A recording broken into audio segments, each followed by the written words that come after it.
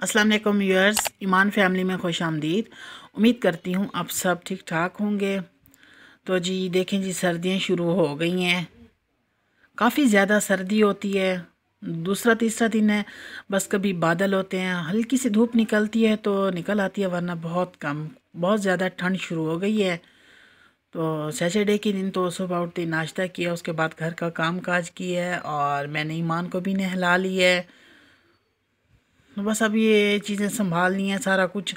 तो ईमान के बाल अब खुश्क हो गए हैं, ईमान कंघी करवा रही है। तो आज हमारे घर में आ रहे हैं जी मेहमान।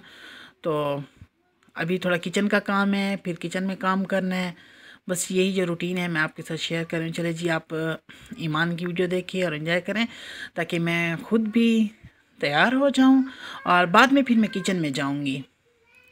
क्योंकि गर्मियों में तो इतनी वो होता है कि भाई पहले काम कर लें, फिर उसके बाद तैयार हो जाए, लेकिन सर्दी में ये होता है बस तैयार हो जाएँ और बाद में किचन का काम हो जाएगा। चलिए जी, देखें आप ईमान की ईमान की वीडियो देखें और उसके बाद मैं आपके साथ शेयर करती हूँ आगे की वीडियो।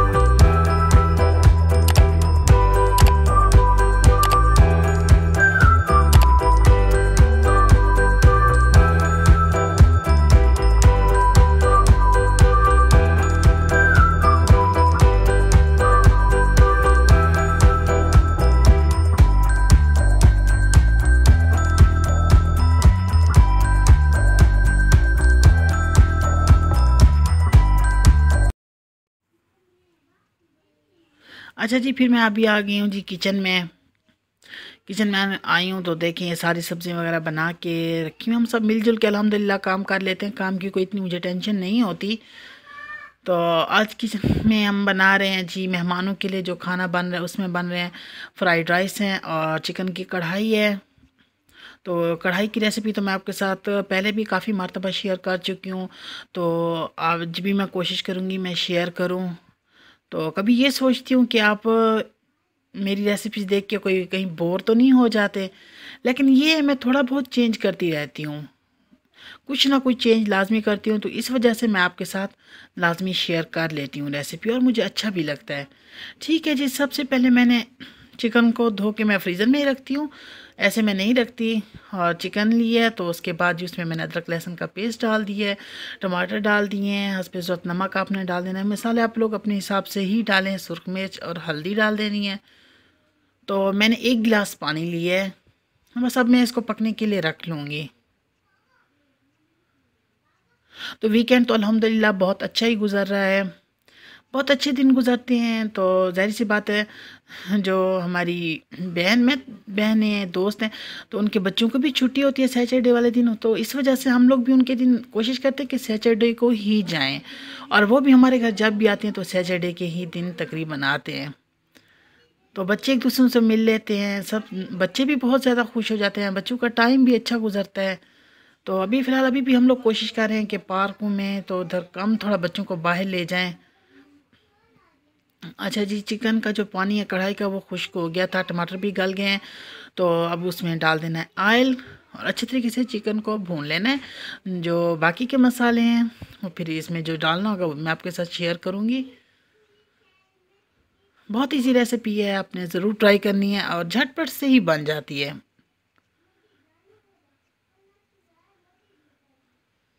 तो अब हम इसमें डाल देंगे दही, एक प्याली दही हो तो इसमें दही डाल देंगे।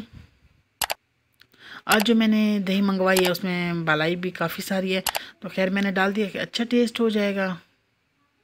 वैसे जब भी मैं दही लेती हूँ, मैं उनसे कह देती हूँ कि भाई इसमें बालाई ना डालें, क्योंकि मुझे खुद को पसंद नहीं है इतनी। और पिसी हुई काली मिर्च। और जी, फिर इसमें डाल देंगे, गरम मसाला पिसा हुआ डाल देंगे। मेरे पास कसूरी मेथी है, वो हल्की से हाथों से क्रश करके वो आपने डाल देनी है। बहुत मज़े की कढ़ाई बनती है। और जो धनिया होगा, साथ में सब्ज़ मिर्चें और लेमन भी मैं काट के डालूँगी, वो मैं इसमें एंड में ही डाल दूँगी। और साथ में बन रहे हैं जी फ्राइड राइस, वो भी मैं अभी आपके साथ शेयर करती हूँ।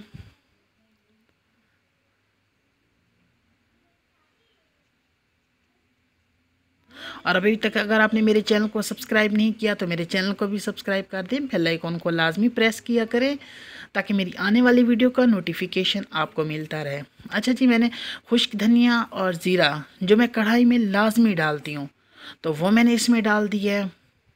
इससे टेस्ट बहुत अच्छा आता है, आप भी ज़रूर डालें, बहुत मज़े की कढ़ाई बनती है। और पानी भी मैंने इस वजह से थोड़ा सा इसमें डाल दिया क्योंकि बाद में मैं फिर इसे अच्छे तरीके से गर्म भी करूँगी। जब वो आएँगे तो उसी टाइम फिर गर्म करूँगी। सब्ज़, मिर्चें भी, धनिया भी और जी लेमन मैं बाद में फिर डाल दूँगी। तो बाकी अब जो मसाले मैंने डाल दिए अब मैं चूल्हा कर दूँगी बंद और इसको मैं ढक के रख दूँगी। और साथ में चटनी भी बना ली है और सैलेड भी बना के रख ली है। बस यही है और फ्राइड राइस की तो रेसिपी मैं काफ़ी मरतबा शेयर कर चुकी हूँ, लेकिन फिर भी मैं आपको बता देती हूँ। सबसे पहले जी हमने आयल डाला, उसके बाद इसमें अंडे डाल दिए और गाजरें डाल दिए। तो शिमला मिर्च है, वो इसमें डाल, जो सब्ज़ी आपको पसंद हैं, अच्छी लगती हैं तो जैसे स्वीट कॉर्नस हैं अगर आपके पास, आप वो भी इसमें डाल दें, मटर डाल दें, अच्छे लगते हैं। तो अच्छे फ्राइड राइस बनते हैं। और चिकन बॉईल की हुई है तो इसमें चिकन डाल दिया काफ़ी ज़्यादा मैं खाना बना रही हूँ क्योंकि मैंने हम्म, उनके घर भी भिजवाना है। तो फ्राइड राइस वैसे भी अगर कढ़ाई में बनाएँ तो और ज़्यादा अच्छे बनते हैं। अगर आप लोग पतीले में बना रहे हैं तो बड़े थोड़ा बर्तन में बनाएँ तो खुला बर्तन हो तो उसमें बहुत ज़्यादा अच्छे बनते हैं। ठीक है जी चावल बॉईल करके उसको फैला के रख देते हैं ताकि वो थोड़ा खिले खिले रहें। तो अब हम इसमें फिर काली मिर्चें भी डालती हैं अब इसमें चावल डाल देंगे, अच्छे तरीके से मिक्स करेंगे, बस सिरका डालेंगे और फ्राइड राइस बन जाएँगे। सब्ज प्याज भी काट के रखे हुए हैं, वो भी एंड में डालने हैं। तो ये रेसिपी भी आप ज़रूर ट्राई करें, सर्दियों का मौसम है अच्छे अच्छे खाने बनाएँ और इन्जॉय करें।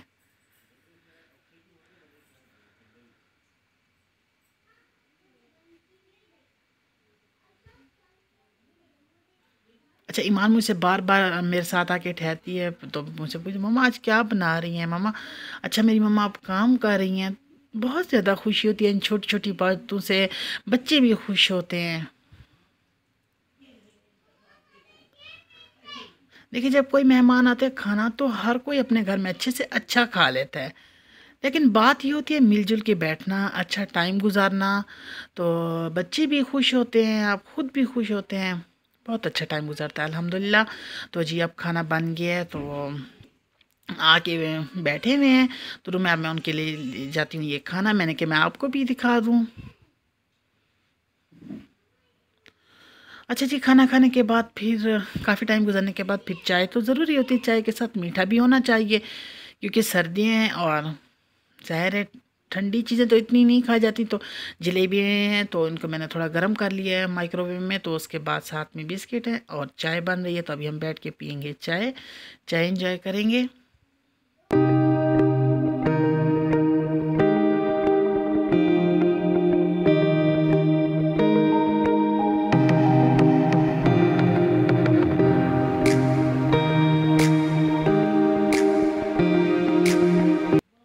अच्छा जी, ये संडे के दिन की वीडियो है तो संडे वाले दिन तो सुबह नाश्ता किया फिर काफ़ी टाइम गुजरने के बाद जी सूप बना है सूप तो लाजमी बहुत ज़्यादा ठंड है पिशावर में तो बिल्कुल बादल ही बादल है। धूप तो आज निकली भी नहीं है।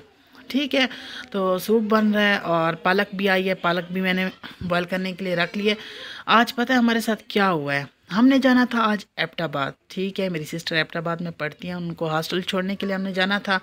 लेकिन फिर उन्होंने कॉल किया सो ने, अभी आप लोग ना आए, आप लोग मंडे का वेट करें। हो सकता है कि हम लोग अपने हॉस्टल को बंद कर दें। ठीक है तो बस बहुत सारी तैयारियाँ करके रखी हुई थी। कुछ खाने के लिए भी उसने बनवाना था, अभी अपनी रूममेट वगैरह के लिए, अपने लिए। घर का खाना तो देखें, घर का खाना होता है। मैंने फ्राइड राइस भी बनाने थे और साथ में चिकन पीस भी बनाने थे। चावल भी मैंने बॉईल करके रख लिए। लेकिन अभी फिर तैयारी नहीं हुई, फिर हम लोग नहीं जा रहे। तो देखिए, वो चावल भी बॉयल करके रखे हुए हैं और बस अभी फिर उसके मैं क्या बनाऊँगी, जो बनाऊँगी, वो रेसिपी आपके साथ में ज़रूर शेयर करूँगी। और जी, वैसे मैंने कहा था, अभी गोभी बना लेंगे। ये जो पालक है, इसको मैं फ्रीज़र में रख दूँगी और जो गोभी है, वो शाम को बना लेंगे। तो देखें आज शाम को क्या बनता है। तो अगर मैं आपके साथ शेयर करूँ तो व्लॉग बहुत बड़ा हो जाएगा और आप लोग फिर कहीं बोर ना हो जाएँ। तो इस वजह से नेक्स्ट डे फिर मैं आपके साथ ज़रूर शेयर कर दूँगी। ठीक है जी, अब व्लॉग का करती हूँ एंड हम लोग बैठ के सूप इंजॉय करते हैं। तो वीडियो अच्छी लगे तो लाइक शेयर और कमेंट्स आपने ज़रूर करने हैं। दो में याद रखिएगा, अपना बहुत सारा ख्याल रखिएगा। In next video next recipe मैं आपके साथ ज़रूर शेयर करूँगी। और ये पालक को भी ग्राइंड करके रख लिया है मैंने। बॉयल हो गई थी, ठंडी हो जाएगी, फिर फ्रीज़र में रख दूँगी जी। अल्लाह हाफिज़।